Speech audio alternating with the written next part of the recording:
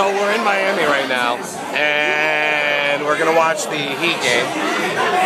So we went to this restaurant where it's like a hundred bucks minimum or whatever to get this table.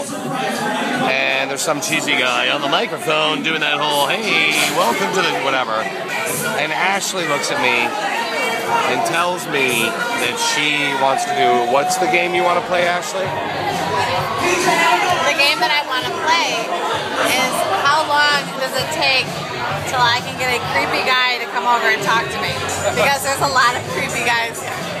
And I feel like I could really have a good chance with everything that's happening. Ponytail.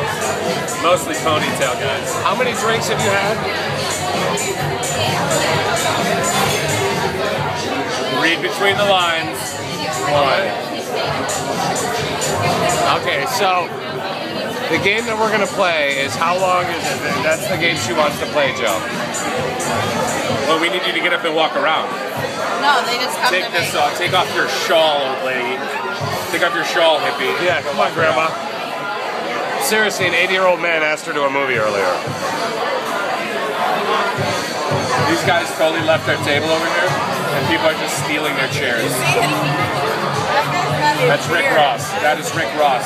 Ashley, Hey, You get it. That's Rick Ross right there. Jams artist Rick just Ross. go walk And over there. Adele is over there. Can you see Adele? Can you see Adele? It won't let me zoom in. Dang it. Ashley, go walk over and try and steal one of those nacho chips.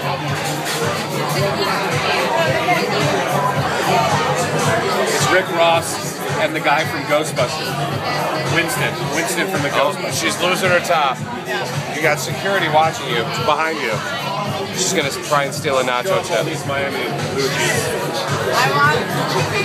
Just walk slowly to the bathroom. Did she do it? Did she do it? Did she do it? Oh no, you did. What was that? We'll be back. Please, easy peasy. Like that.